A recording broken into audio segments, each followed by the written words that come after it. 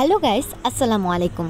সোনালী প্রান্তর চ্যানেল থেকে আপনাদের সঙ্গে আছি আমি সাদিয়া। আজ আপনাদের সাথে বিলম্ব ফল নিয়ে কিছু কথা বলব। আমরা অনেকেই এই ফলটির সাথে পরিচিত, কিন্তু আমরা অনেকেই জানি না এ ফলের কি কি উপকারিতা রয়েছে। চলুন জেনে নেওয়া যাক এই ফলের কি কি উপকারিতা রয়েছে।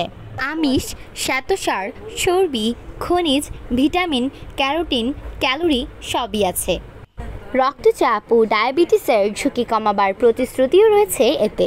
গাইস আমাদের এই ভিডিওটি ভালো লাগলে like comment share and subscribe করতে ভুলবেন